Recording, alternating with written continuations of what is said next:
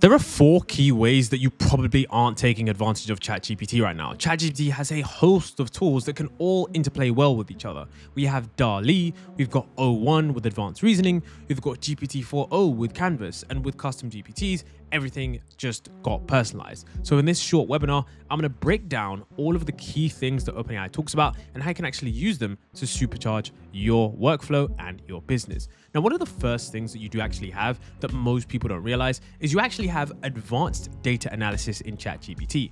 Most people don't take advantage of this feature, and it's something that more people need to realize is absolutely incredible when combined with your own data. Oh is really important for marketers is understanding our audiences. So the first thing I want to do is actually go through, and I'm going to actually uh, go right into ChatGPT, and I'm going to jump into my Google Drive. Uh, and I have a whole bunch of different files in my Google Drive. But what I actually want to look at is people registered for this webinar. So if I'm going to build a webinar from scratch, I need to know who is coming from this webinar today. So I'm going to click on this ticket registration CSV. I'm going to select this right here, and I'm going to add this from my Google Drive and I actually can like uh, write a prompt here. So I did some pre-prompts ahead of time. And what I wanted to do is use um, a, a, different Python code right through, kind of look at who's registered and tell me the top 10 most frequent job titles of attendees. And I've given a, a few some context here, no title, uh, no response, and so forth. Uh, just making sure it's giving me kind of the top 10 titles. So let's go ahead and run this. So it's analyzing here, uh, and great. You can see here the top 10 most frequent job titles. Uh, no surprise, we have a lot of marketers on here, directors, heads of marketing, CMOs. Um, so I actually want to turn it over to uh, Allison for a second, um, because I want to pull up the Python code and kind of just show you what happened here. Yeah, so what you're seeing here is this ChatGPT data analysis feature. So as you saw, Dane could easily upload and easily kind of scroll through the file in the conversation. And then what's happening in the background is the model is actually writing and then executing this Python code that you can then open up, kind of see the analysis if you want to. And so again, you don't have to know how to code, you don't have to be technical to do this, but it is a nice way to just kind of check the work that was done by ChatGPT. Awesome.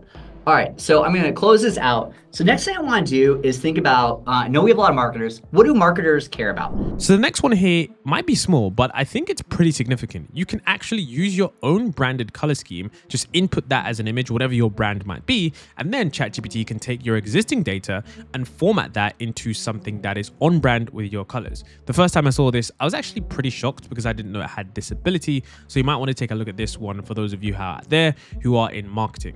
So I'm going to go back back into ChatGPT. I'm to attach another file here. Let me add this from our Google Drive. And basically what I did was I pulled in our most common marketing use cases. So we've actually, you know, surveyed you know, hundreds of our customers and looked at how they're using marketing. We've actually pulled out all uh, personally identifying information, but we can actually have it do a quick analysis. I'm gonna drop in a, a prompt here. Can you visualize the counts of different use cases based on the different types of columns? Please add all those mentions together. So I'm gonna run this. You can see it's analyzing and looking at the data. It's looking at different use cases, different impact. When I actually push this live, oh, there we go. So we have a great chart of all the different types of use cases. So Allison, you want to share like what happened in the back end there? Yeah, absolutely. So again, just like we saw with data analysis at the beginning there, there's some Python code that's being written and then run. And then we're able to really easily create this visualization here on screen. Um, now, one other thing that's really neat about this chart that popped up is Dane can actually make it interactive if he wants to. So Dane, if you're able to go up to that little mouse icon on the graph there, and then just kind of click that at the top, then Dane can actually hover over and actually see the data and see some information about each of these use cases. And then what's neat too is we can customize it a little bit too. So Dane, I'm feeling the color pink today. I don't know about you, but if you click that filter, maybe we can change that to the hot pink there on screen. Perfect. And then you can obviously download this and share it into any sort of PowerPoint deck or visualization you want to put in. Awesome. That's very cool. Um, uh, one second, I just want to check with our quick technical team. Can everyone hear me as we're, we're going through here? Okay, cool. We're, we are good. I got one hand raised about uh, sound caution, but it sounds like everyone is lined up. Uh, so this is great. Um, so uh, you can see the different use cases and the different content in pink. Um, but you know, this doesn't really fit with our brand guidelines. So while I, I love uh, pink, uh, you know, uh, Allison loves pink, uh, we want to create this in a way that actually fits our brand guidelines. So what I'm going to do here is I'm actually going to go through and I'm going to message ChatGPT. I'm going to attach a file, and what I'm doing is actually, and this is like blows me away. I'm just going to actually bring in an image uh, from our brand guidelines, uh, and this is just a picture of our content. And I, I dropped this prompt in here. Now, basically what I'm asking is, can you change the colors in the visualization flow to the same color scheme in this image? So I didn't need to go and pull our brand guidelines. I didn't need to ask a designer. I just dropped an image in that I know it's with our brand, and I'm asking it to customize the chart based on this uh, image as well. So here you can see it's analyzing, it's kind of working on it. Uh, and there we go. There we have our new chart that we just created that has been customized based on use cases and it's done right in the colors of the brand guidelines. So it's taking that image I've done and just had that match into the brand guidelines. So, you know, this always kind of blows me. Now, this next one is actually a really small one, but it is one that is constantly overlooked. So for those of you guys that generate images with AI, Oftentimes, the images from DALL-E 3 might not be exactly what you want. That's where they have in-painting, which is where you can paint inside of that image and fix whatever went wrong with AI to create, once again, on-branded visuals for whatever campaign you might be working with. I might create an image for the landing page. Uh, and so basically, we're gonna go back to ChatGPT, we're gonna go to 4o, and we're gonna start with, you know, a prompt right here. Uh, I, I, pre-wrote this prompt, uh, you know, kind of a little bit my own personal design style, but I love vintage computers, uh, and I love kind of having that retro look. I think there's something kind of very timely and, and kind of, um, you know, really uh, exciting about kind of vintage photography. So I wrote this prompt, and let's see what happens when I kind of generate this here in DALL-E, and it's creating this image uh, as well. Okay, cool. So I have this cool uh, advertisement. It's done it to the specifications that I want for my landing page, which is great. And let me know if you want any more details. Um, now, unfortunately, one thing I feel like is missing is we have this blank screen, right? We want this to feel active and alive, and not just have a blank screen. So let's go ahead and kind of edit this. Um, so what I'm gonna actually do is you can look up on the top and you see uh, some different type commands. You can you cross out this, you can download this image, but you see this paintbrush. And this is like a very super tool. This is always makes me giddy playing with this. And what I'm gonna do is I'm gonna hit the paintbrush and I'm actually gonna select the screen. So let's get started. So I'm kind of moving along the screen. I'm widening it out in blue. Cool. So here I've selected the screen and kind of done this in real time. And now I can go back to ChatGPT and I can prompt what I actually want on that area I just selected. So I'm gonna go back into ChatGPT. I'm gonna write a quick prompt. Could you add a chart here? We've shown a lot of charts. Uh, it's, it's analyzing and scanning. I think this would be really cool, fit with the rest of the content that we have for the webinar. Uh, here's the updated image and boom, right there. We have a new updated image. You can see the area I selected. It added kind of a retro chart. It kept in with the themes, remembering kind of the original prompt to add this uh, chart uh, as well. Uh, so pretty powerful way that we can kind of do design right here in Chat.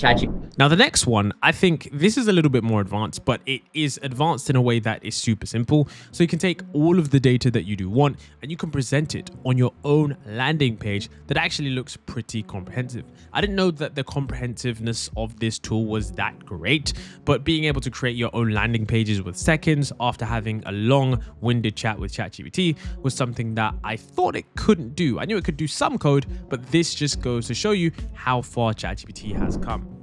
All right. Now I finally want to get to the prototype for our design and build out the registration. I'm going to upload that picture into our template. Uh, so let me go back here. Let me attach this file, uh, upload from my computer.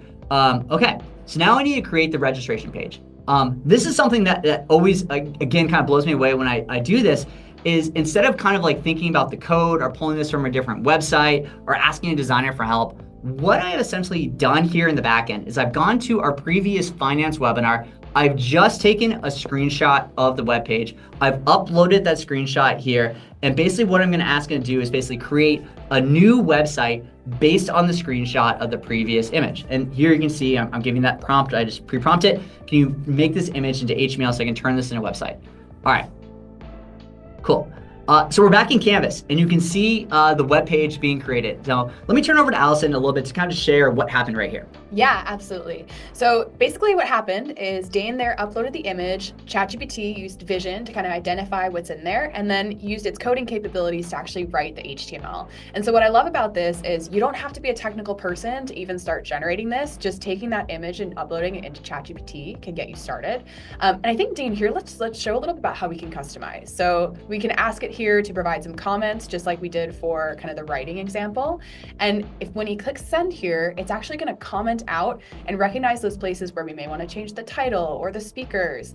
Um, and I think the easiest one to probably change for now is probably the title. Let's change it to marketing. All right. We can go right and just write marketing. Uh, cool. Um, so super easy way you can go through. Um, you could actually go through, look at all the highlights, go one by one, update these as well. Uh, you could just ask ChatGPT to say, hey, I'm doing this webinar for marketing. You can drop in the, the obviously description and have it update the whole thing for you at once based on the, the content as well. So uh, we actually went ahead and did that. We created a landing page. So we want to kind of show you kind of what this kind of final result uh, looks like as we get to this point. Okay, cool. So we have our landing page. We have the image that we created here. We have Allison and I uh, as well here. Uh, you see what we just did. We uh, basically used that code to create a landing page. This isn't perfect. Um, this is something we would probably want to give to our design team. You know, I wouldn't want that, that landing, that image formatted kind of in that corner there, but something really easy where we're giving a lot of assets, content, ideas, templates, and something that they can go through and kind of put that last 5% of polish on and make this great uh, for our webinar. Um, so we just showed you a, a, lot of different ways you can use marketing. I hope you appreciate it. Uh, a little bit of an unconventional kind of uh, demonstration here and kind of straight jumping into the demo, but I think this is really powerful. Again, AI is something you want to experience and get your hands on and play with. And there's so many different use cases for how you can use AI. You just saw how we did content generation, but so much more than that. Design, research, coding, data analysis, automation, and translation. Uh, everything other than really kind of voice, which we'll actually show you a little bit later. Fascinating for the